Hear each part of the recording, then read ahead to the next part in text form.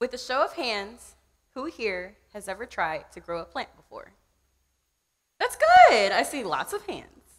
And that's okay. If you've never tried before, maybe something that I say here today will encourage you. So, the way that I see it, there's two types of people in this world plant people and those who know plant people. I see myself as a plant person, but it's more than just a hobby or a future profession. It's a lifestyle. When you're able to plant a seed and grow something, it really changes you. And I've learned a lot about patience, commitment, perseverance, and learning from my mistakes through my experience as a gardener. But I would like to make a confession. I am a plant serial killer, y'all. And I'm sure some of you are too. And that's okay. This is a safe zone. I feel like if I thought back on all of the plants that I've ever had, majority of them are dead. And that's probably why people think that they're a bad gardener. Think about it this way. If you were a doctor and majority of your patients died, you'd probably lose your license and go to jail. But just because you may forget to water your plants every once in a while or water them a bit too much, or any of the other mistakes that new gardeners make, as long as you're educating yourself, going through lots of trial and error, keeping a journal, and probably even a calendar to stay on track, you'll become a better gardener every single day.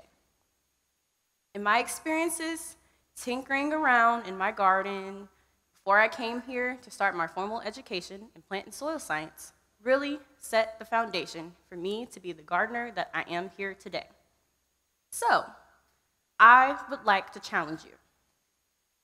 I think that having a green thumb is a myth. Because people would say that to me all the time. You have such a green thumb. I wish I was like you. But they didn't know about the plant cemetery that I had hiding behind the windowsill in my bedroom.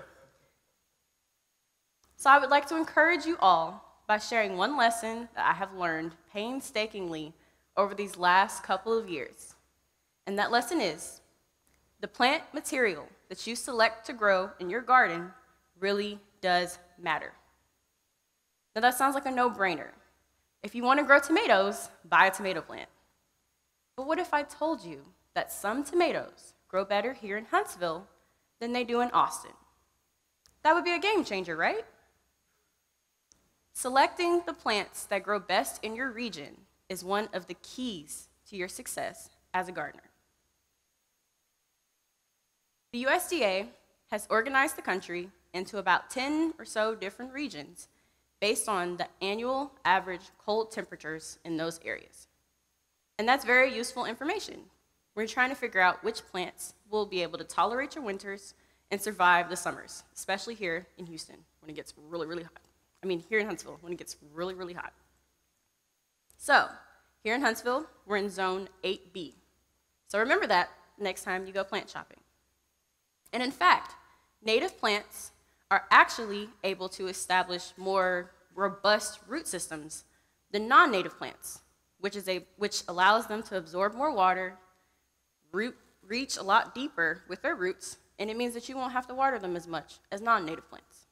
So I try to grow native plants whenever I can because they also encourage pollinators and local wildlife.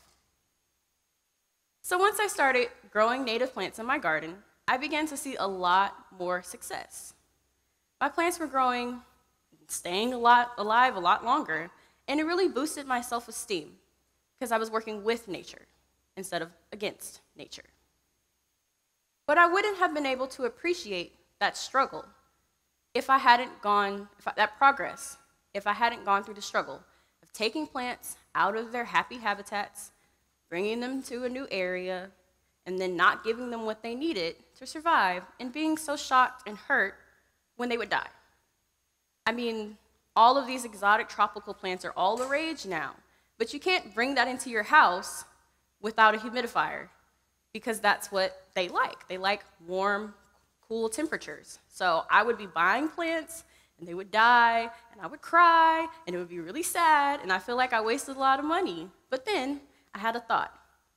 all of that time and energy and money wasn't really a waste. It was an investment in myself because I learned a lot and I learned what not to do. So, if I had let those setbacks keep me from continuing as a gardener, I wouldn't be here today. And it's allowed me to realize that I want to go into landscape architecture when I graduate. So, the plants that we choose to put into our environments affect its biodiversity and health, just like the food that we put into our bodies affect us as humans.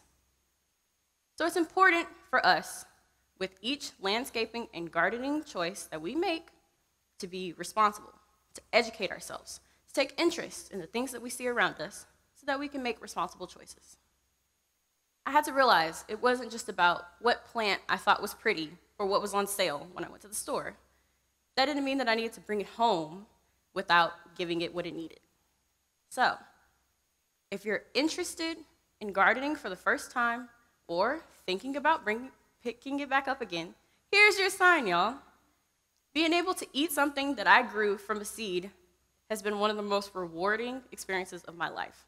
And I want all of you to have that too. And there's lots of resources out there for new gardeners and veteran gardeners alike, like the Lady Bird Johnson Wildflower Center, whose website has tons of databases to help you find different plants from different regions. And if you go visit them in person in Austin, you can get more information there too. And another resource is the Texas A&M AgriLife Extension.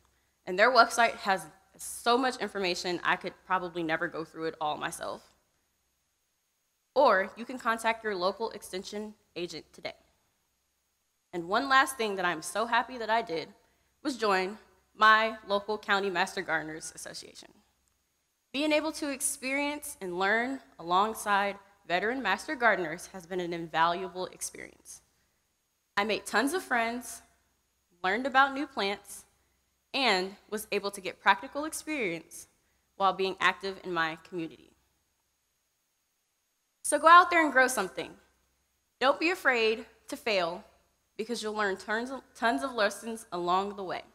And besides, all the plants you kill will just be good composting material anyway. So don't be afraid to fail and don't be afraid to try something new. Because being a gardener has made me a better person and it's allowed me to be here sharing all of this with you. Thank you.